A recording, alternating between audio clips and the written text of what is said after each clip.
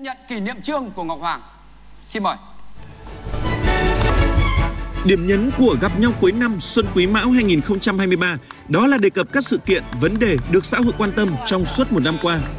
Sau một năm bùng nổ các sân chơi sắc đẹp, ekip thực hiện đã lựa chọn cách thể hiện mới, dàn dựng Táo Quân 2023 như một cuộc thi mang tên Táo Bạo.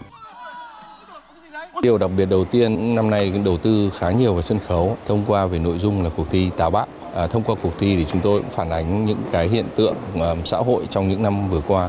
Em đã hiện hình ở đây, còn các táo ngồi trâu ngoài kia, nhạc tung tóe ngọc hoàng thò ra. Trong gặp nhau cuối năm Xuân Quý Mão 2023, khán giả có dịp nghe lại nhiều bản nhạc được yêu thích từ nhiều năm trước do các nghệ sĩ hài thể hiện với phong cách mới. Đặc sản không thể thiếu trong chương trình là phần thi của các táo, loạt vấn đề nổi cộm ở các lĩnh vực kinh tế, xã hội được nhắc tới, những từ khóa xu hướng trên mạng xã hội trong năm.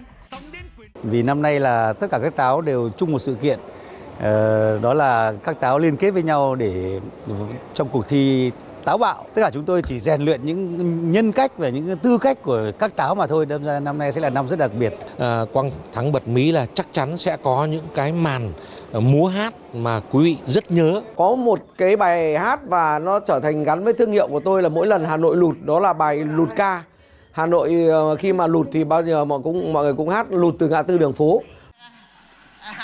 Nếu như các năm trước, sự xuất hiện của các gương mặt mới đem đến cho chương trình màu sắc tươi trẻ, thì năm nay ekip tìm đến nhiều gương mặt đã từng tham gia táo quân và trao cho họ vai trò mới. Duy Nam và Trung Ruồi năm nay thì sẽ làm trợ lý cho cô đầu.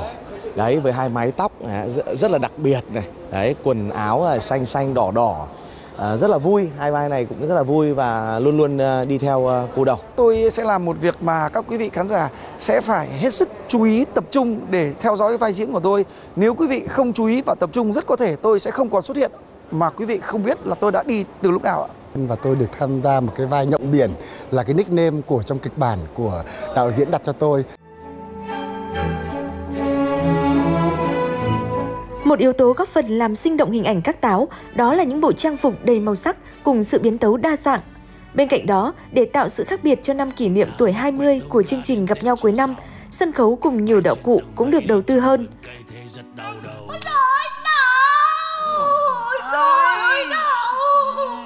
Năm nay chúng tôi cũng có cái màn đặc biệt là tạo dựng lại những bộ trang phục của 20 năm các tàu đã mặc thì tổng cộng là đã có 27 bộ. Qua cái chương trình này chúng tôi cũng giới thiệu lại một chặng đường 20 năm các trang phục mà nhà thiết kế đã chọn lựa rất là tỉ mỉ. Ngoài về phần trang phục thì năm nay đạo cụ cũng khá nhiều thứ mà chúng tôi cũng muốn làm cho nó kỹ và làm cho nó tinh xảo nhất.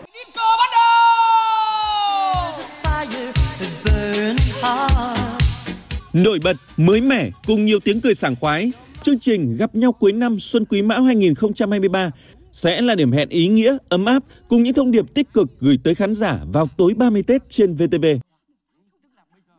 Xin chúc mọi người có một năm mới bình an và hạnh phúc mà cũng như là theo dõi à, Táo Quân. À, hãy coi Táo Quân giống như một món ăn trong mỗi gia đình khi Tết đến xuân về. Táo quân là món ăn tinh thần rất quan trọng của mỗi người dân Việt Nam như bánh trưng Tết, ừm, như là cành đào, cành mai ngày Tết.